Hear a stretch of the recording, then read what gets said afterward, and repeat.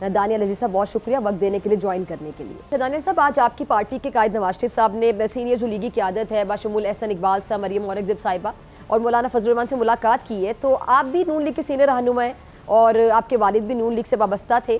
आपने बुरे वक्तों में नून लीग का साथ दिया और बहुत ज़्यादा साथ दिया है। लेकिन अब ऐसा लग रहा है कि शायद आपको कॉर्नर किया जा रहा है दीवार से लगाया जा रहा है। बहुत से इस तरह के सवाल गर्दिश कर रहे हैं। क्या कहेंगे? नहीं जी ऐसी कोई बात नहीं है। मैंने तो सिर्फ़ कुछ तजवीज़ें दी हैं कि हमारा जो कम्युनिकेशन का निज़ाम है इंफॉर्मेशन का और जो हमारा महँगाई के बारे में बयानिया है इसको दुरुस्तगी की ज़रूरत है और इसकी कारकर्दगी बेहतर करनी चाहिए।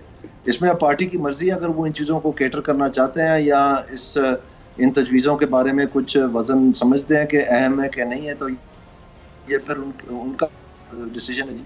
ठीक है अच्छा बहुत से सवाल इस तरह की गर्दिश कर रहे हैं कि शायद आप अपनी पार्टी से नाराज़ हैं नाला हैं या आपके जो गिले शिकवे वो किसी हद तक बजा भी होंगे वो आप बेहतर बता सकते हैं तो ये जो कहीं पर अगर धुआँ उठता है तो दाने से आग तो लगी होती है तो धुआँ उठता है आग के बगैर तो धुआँ नहीं होता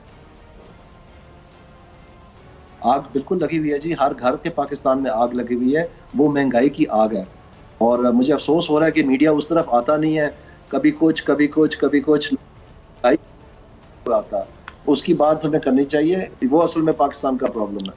अच्छा दानिश साहब गुजशत दिनों जे यू आई की जानब से ये दावा भी किया गया था कि वजी अजम कोई भी हो सदर मौलाना फजलरमान साहब ही होंगे।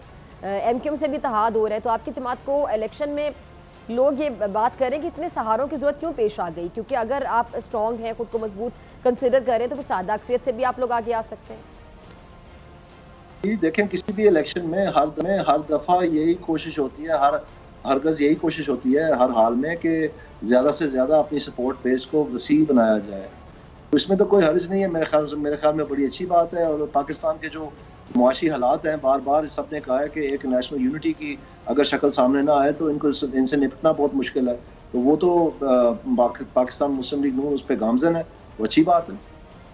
अच्छा ये भी कहा जा रहा है कि आपके और एहसन इकबाल साहब के दरमियान जो लड़ाई है वो नारोवाल से इलेक्शन लड़ने की है। और एहसन इकबाल साहब वहाँ से अपने बेटे को टिकट दिलवाना चाहते हैं जबकि आप वहाँ से लड़ना चाहते हैं। तो नारोवाल से मुतालिक एहसन इकबाल साहब ने ये भी कहा है कि जी आप वहाँ से शायद किसी और को टिकट दिलवाना चाह रहे हैं। ये बात दुरुस्त है? मैंने कभी किसी के बारे में टिकट की सिफारिश नहीं की थी। जो जो समझता ये बात वो साबित कर दे या कह दे ये बात इवन तो हम्म। मैं अपना है, मेरे लिए मैं हाजिर हूँ। मैंने तो की नहीं। ये तो असल इशू से भागने की बात है ना। अब आप लोग मीडिया में मुझे कितना अफसोस होता है कि एक वेबसाइट है प्लानिंग कमीशन की। उसके ऊपर जो ये मीटिंग्स करते रहे प्राइस कंट्रोल के वाले से, वो सारी की सारी जो वहाँ पर मौजूद है। लेकिन आप लोग इतनी मेहनत नहीं कर वहाँ से लेके बजाय मेरे से सवाल पूछे, आप उनसे पूछे ना, वो क्यों कह रहे हैं कि महँगाई के साथ ताल्लुक नहीं उनका? मीटिंग्स करते रहे हैं, वो सारी प्रेस रिलीज़ मौजूद हैं। तो फिर वो क्यों इसे इनारफ है, मनारफ है? ये क्यों डिनाई करते हैं? ये क्यों नहीं आप उनसे सवाल पूछते बजाय, मैं तो आपके हाथ चढ़ जाता हूँ ना तो आप मेरे से पूछते जाते हैं कि जी, ये वो वजह तो नहीं है। उनसे भी पूछें क्यों भाग रहे हैं हकीकत से?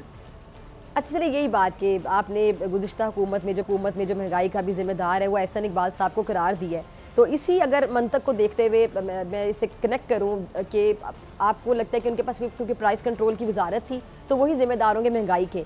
फिर यकीन जो गुजशत सोलह माह की हुकूमत है उसमें जितने भी मसाइल हुए तमाम जो बिगाड़ है क्या उनकी ज़िम्मेदारी इस लिहाज से शबाशी साहब को ठहराएँगे?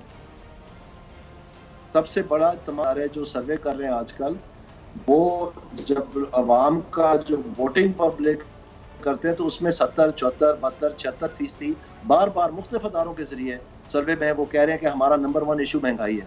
अब महँगाई के चेयरपर्सन ये तो, तो मैंने इन्हीं को कहना है ना कि मैं किसी रेडी वाले को जाके कहूँ कि भाई तुम गोलगप्पे महँगे क्यों बेच रहे हो? नेशनल लेवल पे तो यही थे। और मैं किसको कहूँ? अगर आपको ये वीडियो पसंद आई तो सब्सक्राइब करें और बेल आइकन पर क्लिक करें। सब्सक्राइब करें और बेल दबाएँ ताकि कोई खबर रह न जाए।